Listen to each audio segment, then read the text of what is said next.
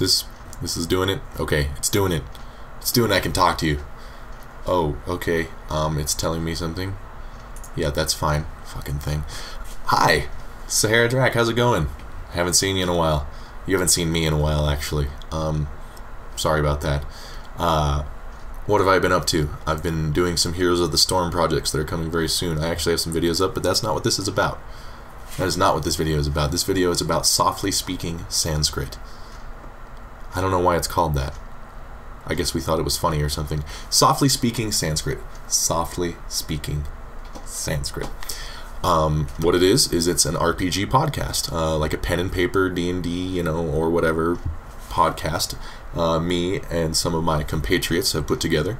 I keep looking at the monitor instead of the camera, but I don't think it cares because I have my my dork glasses are glaring, and I won't turn off the monitor because now now I know that would mean I'm inferior in some way. I'm sorry, what? It's me and my friends doing a uh, role playing games. Uh, what we do is we get together and we um, take off our shirts and then we fill a big chalice. Okay, we don't do the chalice. We drink a lot. Uh, uh, we we partake of adult beverages beyond the normal expectations to the point where it would greatly affect a role playing scenario, and then we role play uh, RPGs. Um, you know, which is redundant. We role play cool campaigns. Uh, you can take the name, softly speaking Sanskrit, and uh, just put it in your little Omni machine thing, the Google, whatever, uh, your Omni tool, if you want, and it'll give you back where you need to go. But if you need more, if you want some more specific places, there's Libsyn, there's iTunes, there's all kinds of things. I'll put the links down there in the description so you can check them out there. I recommend starting with Iron and Cudgel. That's our first campaign. It's a grim, dark, barbaric world full of awesome wizards and blood and offal, awful, offal, that stuff, and uh, double penetration, incestuous double penetration actually, and uh, hand jobs. So if you're into that stuff, uh, feel free. I, I hear part three of that campaign is rather rather entertaining. I, I liked it a lot, but I rather other people have found it rather entertaining, not me.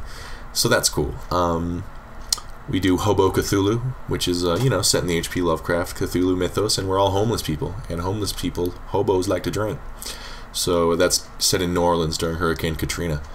Um, we have a single session of Paranoia up we put up recently, which is if you've heard, I'm sure you've heard of it if you're into role playing games, but it's you know an awesome computer controlled sci-fi world, Logan's Run esque, if anyone's old enough to remember that movie. Uh, so yeah, check it out. Softly speaking Sanskrit. Uh, I won't take up any more of your time. I hope you enjoy it. Uh, you know, you're driving to work. You're driving to work. You put put it on, and you you're entertained on your way to work. You're at the gym pumping iron and and pushing the steel, as it were.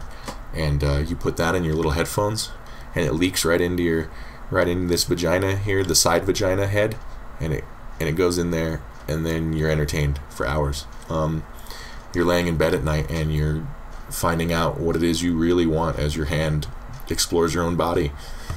There it is. You put it in your headphones and you're feeling good. You're feeling entertained. Ugh.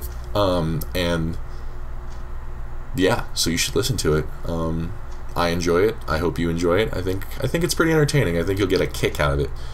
Um, maybe I'll show you my nipples.